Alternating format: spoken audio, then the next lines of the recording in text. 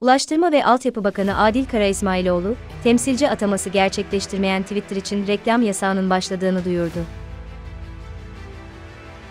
BTT'nin Ahlatlıbel sosyal tesislerinde gazetecilerle bir araya gelen Ulaştırma ve Altyapı Bakanı Adil Kara İsmailoğlu, gündeme ilişkin soruları yanıtladı. Siber güvenliğe ilişkin konuşan Adil Kara İsmailoğlu, bakanlık olarak BTK ile ciddi çalışmalar yürüttüklerini ve dışarıdan siber saldırıların önlenmesi adına çalıştıklarını vurguladı. Pandemide siber saldırıların da arttığını söyleyen Kara İsmailoğlu, sosyal medya düzenlemesinin de bununla ilgili bir uygulama ve istihbarat açısından da önemli bir konu olduğunu söyledi. Kara İsmailoğlu, yerli ve milli uygulamaların tercih edilmesi gerektiğini belirterek kendisinin Turkcell'in BIP uygulamasını kullandığını dile getirdi.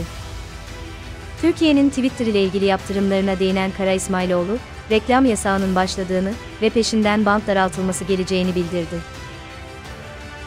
Videomuzdaki metni görebilmek için altyazıyı açabilirsiniz. Beğenip kanalımıza abone olduysanız devam edelim.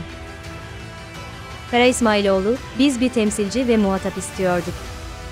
Uygunsuz ve kişilik haklarına saldıran mesajların önlenmesine yönelik, ülke güvenliği ile ilgili bir konuydu.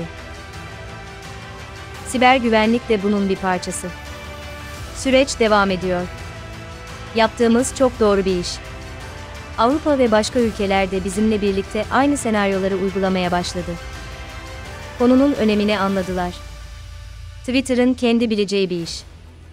Onlar kim oluyor ki İçişleri Bakanımızın tweetini engelleyecek, değerlendirmesinde bulundu.